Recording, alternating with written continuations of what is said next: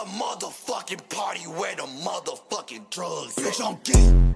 I can't fuck that hoe unless that bitch suck me to sleep. I'm moving too fast. I'm fucking the shit out this bitch and I'm talking my shit cause she know I can cope. This a murder party, bring your glocks and nines too. What? Big waist, nice face, and she fine too.